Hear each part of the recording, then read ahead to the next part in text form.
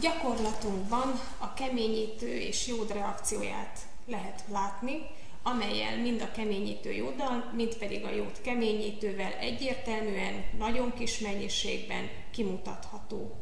A felhasznált anyagok keményítő oldat,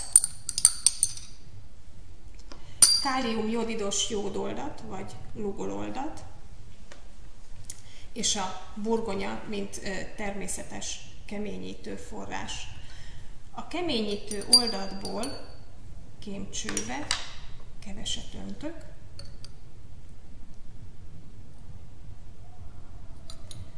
majd pedig a lukol oldatból néhány cseppet cseppentek hozzá, a jellegzetes színreakció megjelenéséig. Jól látható, hogy a lugololdat barnás színe keményítővel szép kék szint mutat. Ennek magyarázata, hogy a jódmolekulák a keményítőben található amilóz molekulák spiráljába elhelyezkedve megváltoztatják fényelnyelő képességüket, és így megváltoztatják a színüket is. Ugyanezt a burgonyagumón is megfigyelhetjük. Lugololdat hatására itt is kék elszíneződést fogunk tapasztalni, mivel elég tömény a lugololdat, ezért itt sötétebb lesz a szín,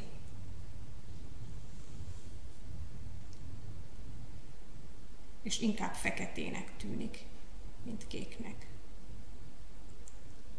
Ezek a jódmolekulák nem állandó kémiai kötésekkel, kölcsönhatásokkal kapcsolódnak az amilóz szerkezetéhez, ezért melegítés hatására onnan kiűzhetők.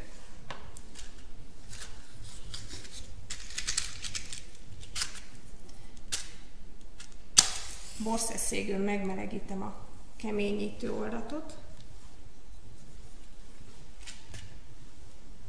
És láthatóvá válik majd, hogy az oldat színe egyre világos lesz, egyre világosabb lesz, egészen addig, amíg a kék szín eltűnik.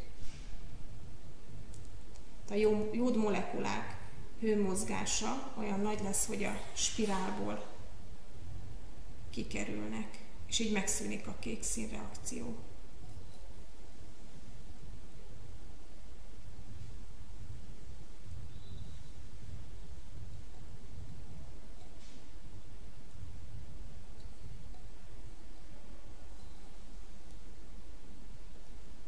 reakció. keményítő darab az alján. Most már egyáltalán nem látszik a kék színreakció.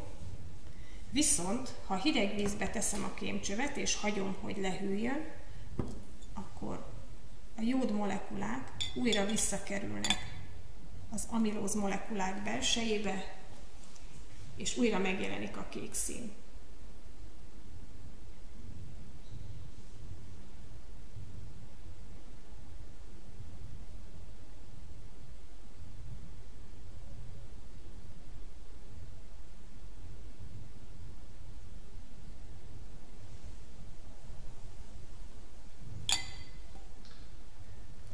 Már a fehér lapon látszik, hogy szép lassan visszatér a keményítő és a jót közös kék színe.